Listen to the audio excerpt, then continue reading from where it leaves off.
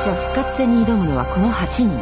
この中からたった1人だけが決勝に参加する資格を獲得します。残りの人たちはウィーケストリンクとして投票されラウンドごとに手ぶらで家に帰っていくのです。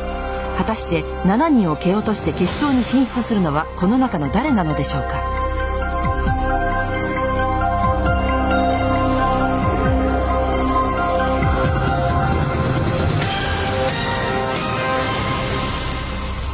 ようこそウィケストリンクへ。